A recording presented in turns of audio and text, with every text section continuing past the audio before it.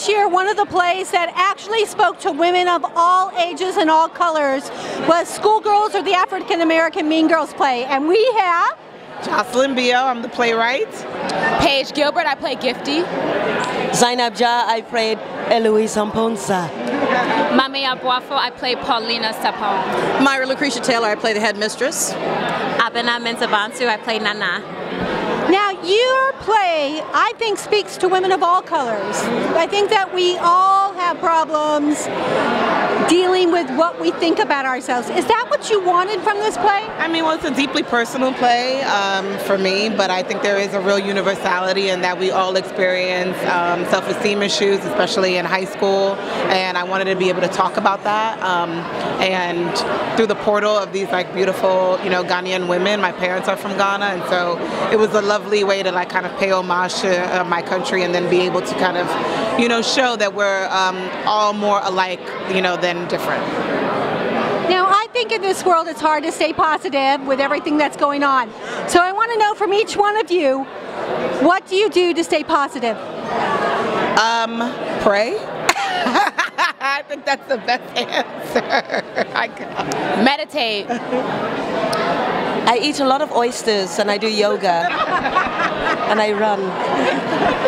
Stay in touch with friends and watch um, great shows that keep me laughing. I believe in my family. Stay in touch with my family and my friends. Um, express gratitude daily, self care. Now, Schoolgirls is getting a reprise. Where are you playing next and when can we see you? Um, we will be um, at, back at the Lucille Lortel Theater in October. But prior to that, we're going to be in Los Angeles at CTG at the Kirk Douglas Theater in the, for the month of September. So, yeah, come see it in New York. We'll be back. Oh, LA. Yeah, we're all come to LA. Oh, if you saw K-pop, you saw her as an overwrought singer who was just having it not having it at all anymore. And you saw her in Mean Girls. She overtakes the stage. Ashley, you come up with so many amazing characters. What of you do you bring to your roles? You know, I've been so lucky to work with such amazing creative teams and writers in that every role that I do, I just want to find where it lies honestly within me. And so I try to find like the spine of that character and um, just bring out a part of myself to infuse into the character. And it's always so much more rewarding for everybody in that way. And I really have had the writing teams and the creative teams that support that process. Well, in Mean Girls, I didn't know you were such a dancer. Oh my you're God. like you're like Bindi. oh, right. My well, my Broadway debut was Mamma Mia, and ever since then, I've mostly done roles that are just standing and singing, um, and still physical, but not, never dancing. And so Casey Nicholaw, when I got cast, he actually called me and he asked, "Are you comfortable with dancing at all?" Because he hadn't seen me dance in anything, and I said, "Oh my gosh, please! I'd be honored to do Casey Nicholaw choreography." And with this cast, I mean, this cast, their energy, the dancing is unbelievable. So it's yeah, but yours is spectacular. I swear, you're like Gumby. yeah, it's super fun. Yeah, well, as soon as I don't get, as soon as I get sneakers instead of heels, it's like really fun. But yeah, um, it's very hard to stay positive in this industry. What do you do to stay positive? Oh gosh, I've really tried to make it my mantra to surround myself with good people and like look at all these people in this room. Everybody's just so lovely, and when everyone is about the work and the craft, then we get to have so much fun with each other. And so I think that I've just tried to surround myself with these amazing people and to be about the work and just to be kind to everybody. And I'm so grateful every step of the way. I'm so grateful to be included today. So, yeah. Your role in K-pop to Mean Girls is very different. What would you like to take on next? Oh my gosh. You know, it's been really fun for me to because both of these shows kind of came out like Mean Girls. I was given the audition one week and then the next week I was cast. So I really have no control. It's so what's so fun and exciting and scary about this business is that you just can never predict where you're going to go next. And so like I'm kind of just open right now to whatever is next. If you want to laugh from the Book of Mormon to now Mean Girls, you're talking Grey Henson. Grey. Hi. So what what of your character? What of you do you bring to the character? Um, a lot of me. I well, the thing is, um, I, I was Damian in high school. I was a drama freak. I was I was gay, but I wasn't out of the closet. So Damian's confidence and his sass is something a little bit more than I ever had in high school. So it's fun getting to play that now. But I'm definitely bringing a lot of myself to the role, which is I think why I'm having so much fun doing it. Now, it's very hard to stay positive in this world. What do you do to stay positive? I have a really great group of friends and a really wonderful family, and um, you, you know, I, I, I try not to to care too much, if, if that makes sense. You know, I think what's so wonderful about the award season is that we're celebrating so many people, but I like to keep my um, priorities straight with just taking it one day at a time and treating myself really well, because um, that's more important than anything else. Yeah. And what would you like to? What would kind of show would you like to do next? You know, I really would love to do like a straight play, like sort of a dark drama. Even I, I did the Book of Mormon before this, and I love musical comedy, and I think I do it well. But I'd like to sort of flex my muscles elsewhere. Is there a type of role that you'd like to play? Oh, you mean like a specific role? I don't know. I haven't really thought of anything specifically, but hopefully something will come up. Or, you know, I'd love to get more involved in television and see where that would take me. But honestly, if I could work with Tina Fey again, it'd be amazing. Right now, we're with Kate Rockwell. Kate, what were you nominated for? I was nominated for Featured Actress in Mean Girls the Musical. Now, this is a show that's got a lot of negative to it. How do you stay positive to stay in your role? That has a, I'm so sorry, it has a lot of what? Negative from, you know, girls hitting, making fun of other girls. But your character stays super positive. So what do you do to stay so positive? Well, at first I don't think that any of us see it as negative. I think even bullies don't mean to be bullies. They think that they're doing the right thing and they're trying to protect themselves.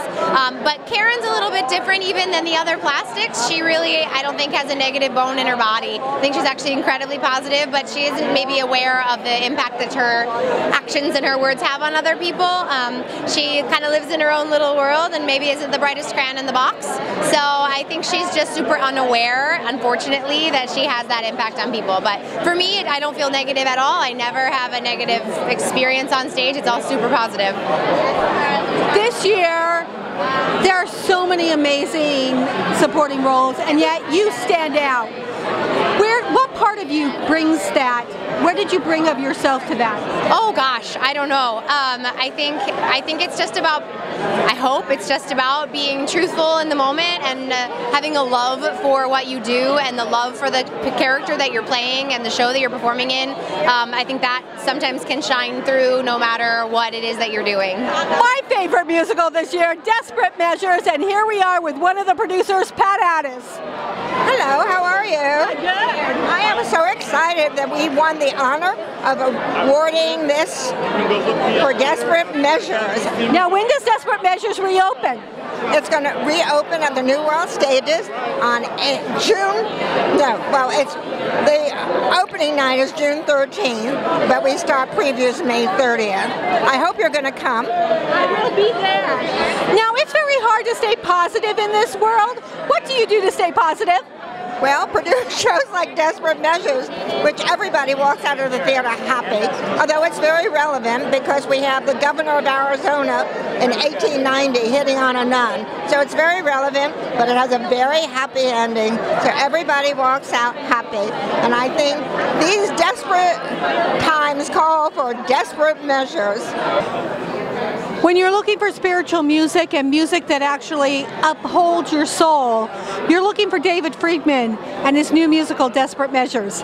David. Hi. Hi. How are you? I'm so excited to be here and be part of this. It's really and we actually we were late today because we are in our first day of rehearsal for Desperate Measures for the transfer to New World Stages. So I had to be at rehearsal, you know, work first. Now your music always has had a positive and a spiritual outlook.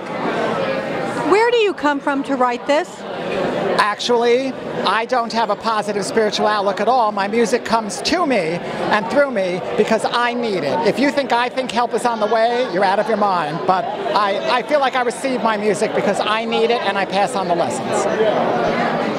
What kind of songs do we need right now? We need the kind of songs we have in Desperate Measures, right? No, we need we need songs that create kindness, create love, create excitement, create laughter. I mean, one of the things we're doing with Desperate Measures is we're taking serious subjects but really laughing and really having a joyous time. And I think we need a good, positive laugh now. That's what you know to open our hearts. That's. Your musical gives so much. What are you working on now? Well, uh, Peter and I are working on, we have three other musicals, one called Aucassin and Nicolette, which is about, oh, the Middle East and black and white and uh, religious stuff, but hilarious. We're working on a musical about Nellie Bly, who was an extraordinary uh, female example of power and of commitment. And we have a musical called Money Talks, in which Ben Franklin is a $100 bill who's passed from person to person about the money that, that uh, how we use money today. So we're working on all Does it talk about uh, inflation? Does it talk about inflation? Uh, no, it doesn't. No. Well, because if you're passing that hundred dollar bill around, by the time it gets to now, it's like one cent. Yeah, it's, it's, it's true. Pete, Peter, in this world right now, it's it's very hard to stay positive. How do you stay positive? Oh, I mean, I, I think uh, all of our stuff ends up being positive because laughing is a, a, cathartic experience, and David's music is very moving. So we, we, I think every show we have has some sort of positive message at the end.